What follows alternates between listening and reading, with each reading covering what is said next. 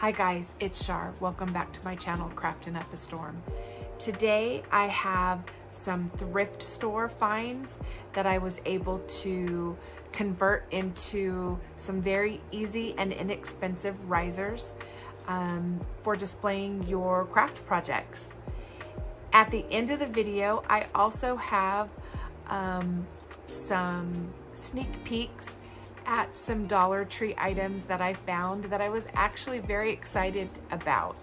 Some are summery and I can't wait to get crafting with them.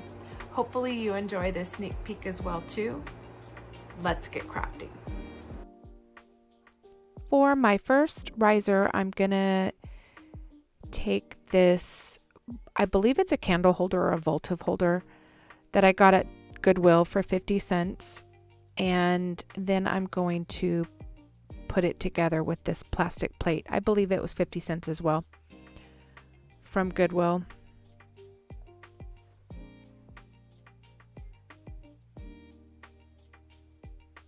I like the candle holder with the gray flowers. I picked it up just so that I'd have the flowers. Um, so I'm not going to paint it, but I'm going to paint the plate. I'm going to use Waverly chalk paint in Elephant. First, I'm going to clean the plate off really good. And then I'm going to start painting. If you noticed earlier when I kind of flipped the plate over, it's black on the bottom. And I had planned on just leaving the bottom black. But I believe I ended up painting the entire paint uh, plate with this elephant gray paint.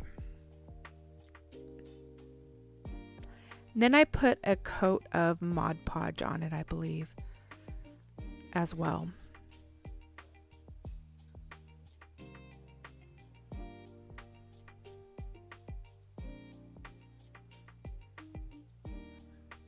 Yeah, see, I had it uh, black and I ended up changing it. You'll notice later when I glue it down, it's gonna be gray later.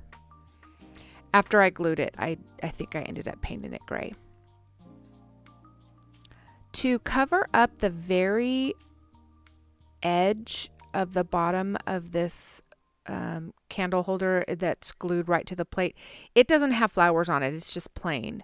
So I thought I'd take this, um, it's a cord from Hobby Lobby. I believe I picked it up during one time they had their 50% off um, sales. I think it's cord on a wire or something like that brand.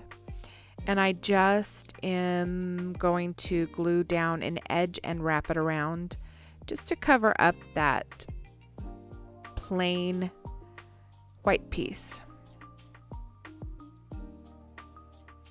It took a few wrapping, um, a few layers of wrapping just simply because it's angled so it wanted to show in between and I didn't want any of the white to show.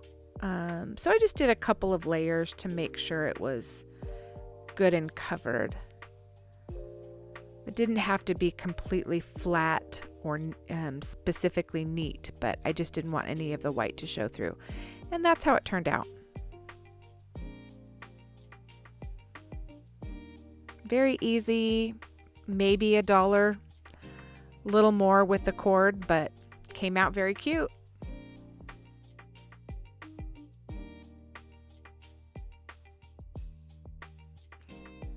For this next one, I found a very heavy glass, I believe it's a candle holder. It was $4.99. I know I got it for half price, so I paid $2.50 for it. It was good and thick and heavy. First, I painted it white. I used white chalk paint.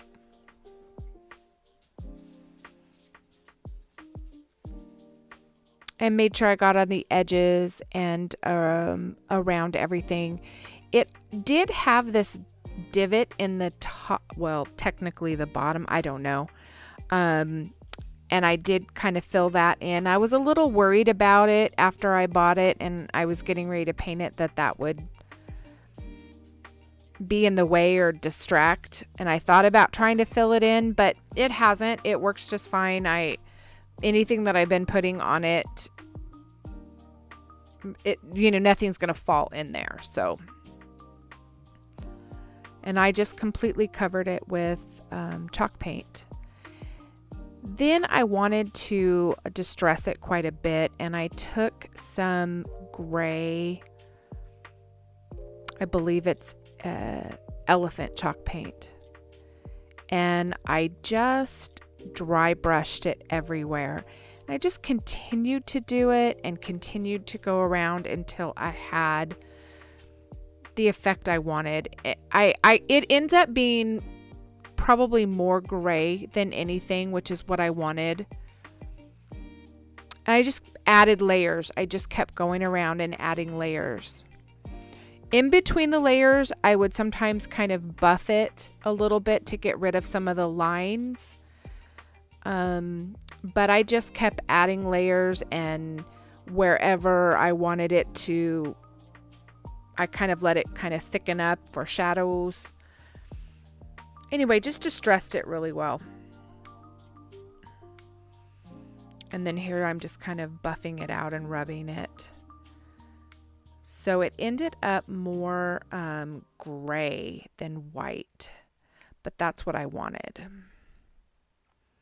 and I didn't do anything else to it. You could I could have put twine around the uh, stem of it.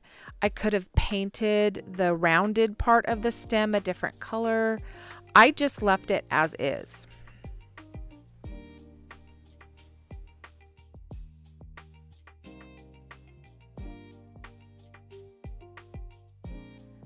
This next riser I think ended up being my most favorite. I found this iron votive holder at Goodwill and this trinket dish, and I thought they just looked perfect together. They couldn't have been maybe $2 a piece. I love the color on the candle holder, so I want to paint the trinket bowl to match. I started with this Waverly chalk paint in cashew and I'm going to coat that entire trinket bowl. I like the green kind of mossy color on the outside. It's uh, it's very pretty. However, I just wanted to cover everything and make everything match. So I believe I had to coat the inside um, and the outside probably at least two layers just to cover up the words and cover up that green and get a good solid um, base. But this chalk paint really covers well, so. This cashew color is a little bit darker than the base, but we're going to take care of that. First, we're going to distress it with some Waverly Antique Wax in, um, well, antique wax. And I'm going to use a flat fan brush and go in and try and match that distressing that I showed you on the candle holder. I went in pretty heavy handed. I kind of was a little um, heavy with the blotches, but we're going to take care of that because once we distress the inside and the outside and get a lot of good color and texture. Then we're going to go back over the top of it. And we're going to add another layer to the top. So all of those blotchy areas, just hold tight. I know it looks kind of like a hot mess right now. We're going to take care of that. I just kept going until every part of it had some sort of layer of this distressing.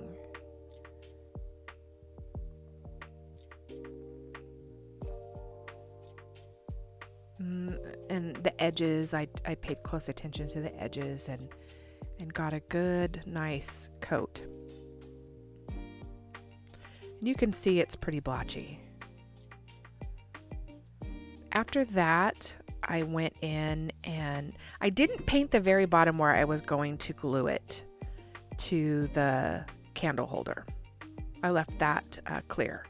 Now I'm going to go in with some ivory. It's a lighter color and I'm going to thin it out a bit and I'm just going to tint the top of it. I'm just going to dry brush some of this ivory over the top of it. That's going to take the color back a little bit, make it match that candle holder a little bit more and, um, and give it some dimension.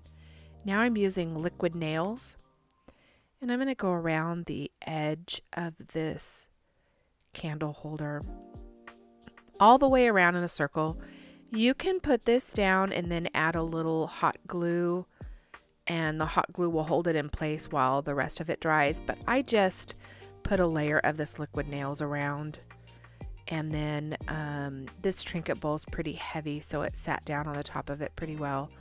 I may have, I think I also set something in it like one of my bigger paint jars or something heavy to hold it um, at least overnight and let it firm up. And that was it. A lot of good pressure, get a good squeeze on it, and then just let it adhere. And I think this one came out very, very cute. Like I said, I think it's my favorite.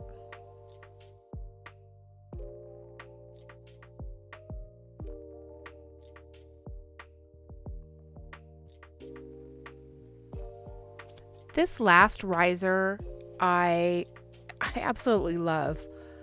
And it was the easiest. I found this old, I believe it's a lamp stand because it's got the weight on the bottom.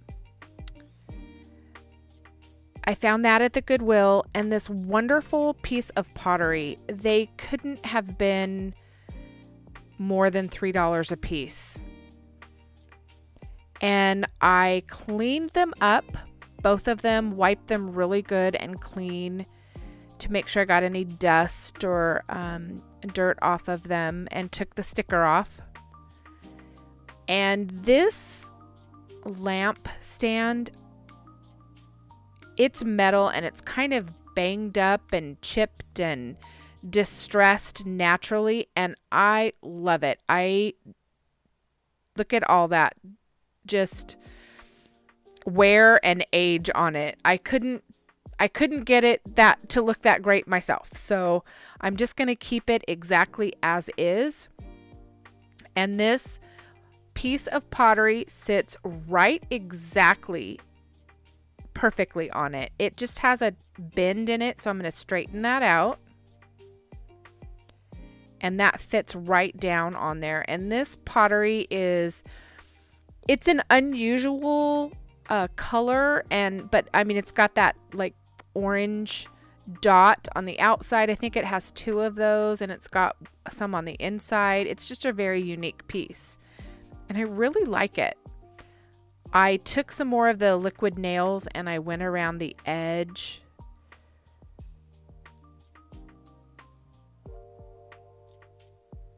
And that is lamp piece is just going to sit right on it.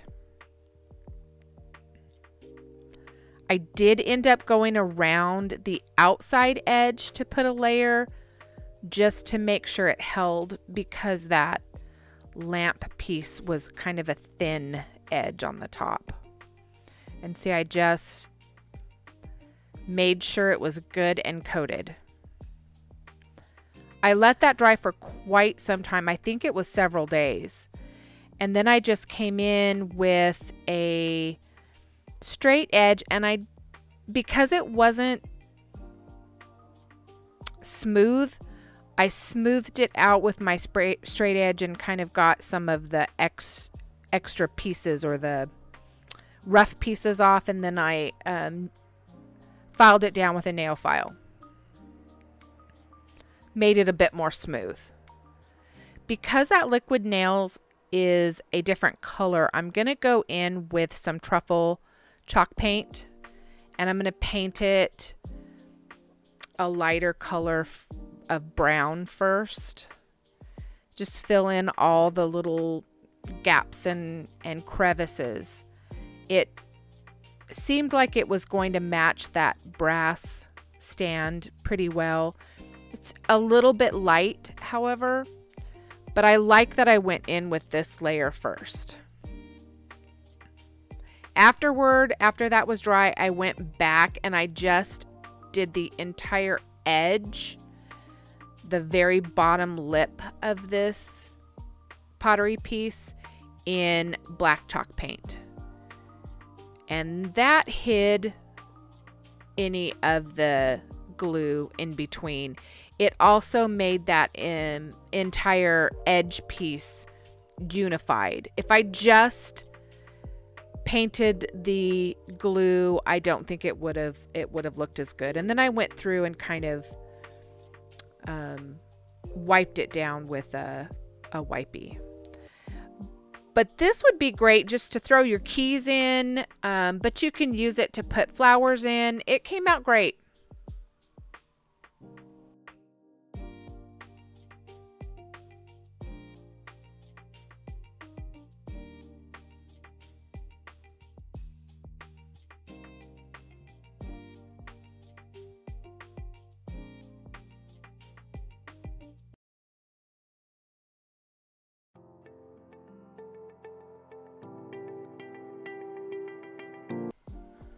I found some really great flowers. I love these blue hydrangea. I picked some up. I'm not always a big fan of Dollar Tree flowers. Um, every once in a while they have something great. I love these yellow, bright, aren't they summery um, yellow flowers? I don't remember what kind they are, but I love them. And this Dollar Tree that I drove to is not my normal Dollar Tree. They have so much more craft supply at this one, so I'll go to it every so often. Look at these yellow cattails. I love them. So many flowers and many that I would use. I was really ready for the bright colors. I used so much pastel for spring that I was excited to see some of the bright yellows and almost kind of sunflower look. But so many great flowers to choose from.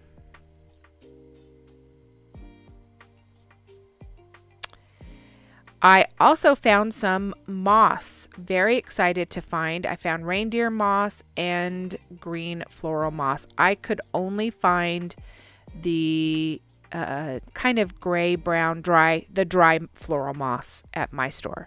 So I picked up several packages.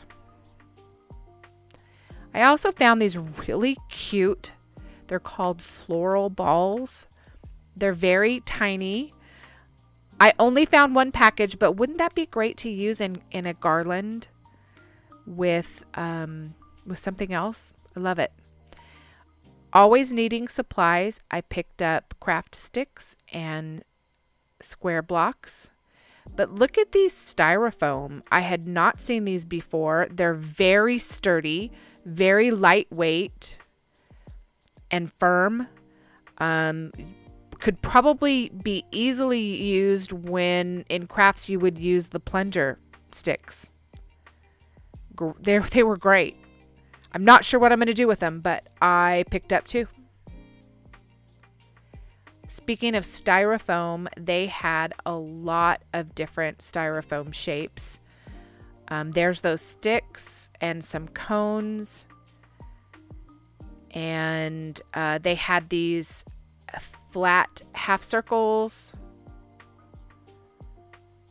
some more cones. Down at the bottom, there's these uh, flat rounds. A lot to choose from. All right. I bit the bullet and found a wooden snake. They didn't have any available at my Dollar Tree, but I picked this one up. I don't know if I'm going to make a wreath or use it for handles or I don't know what I'm going to do, but I got one. And wall decals, I love this Bee Happy wall decal. Look at those bees. They're so big. And here's some eucalyptus with some bright yellow flowers. Remind me of the flowers that I had earlier. And this decal I have seen on different DIYs, but it's so versatile and so great. It's just gold, some gold like leafed. I love that bee. That will be in a project. Speaking of bees, they had some ribbon. This has little bees and little honeycombs and little yellow flowers. And it says amazing and brave. All sorts of writing on it. And it's the uh, satin ribbon I don't know if it has a wire or not. I don't think so. And then they have the honeycomb ribbon as well.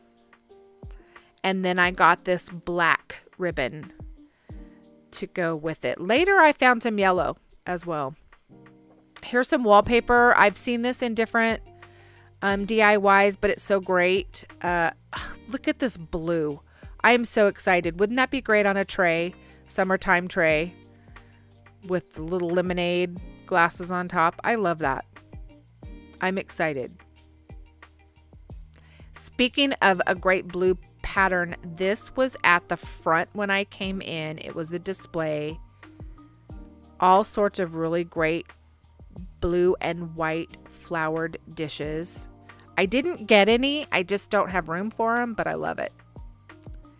They also had some new material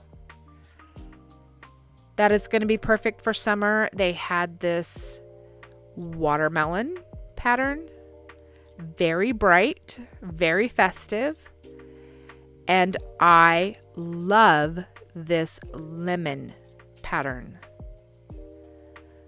Later, I found a pineapple pattern, but I love these.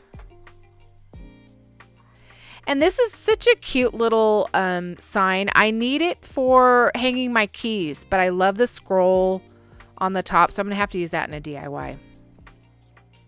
I love it. It hangs on the wall with the hook.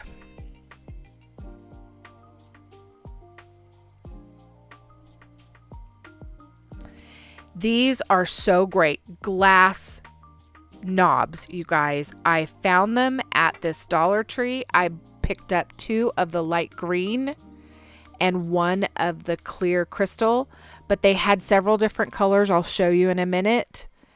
They had pink, I believe, and a different kind of uh, round crystal. I was excited. Aren't these wonderful? all these antique vintage glass knobs. So great. Hope you enjoyed this sneak peek and if you liked this video, consider hitting the thumbs up button and subscribing to my channel. As always, keep crafting. Bye-bye.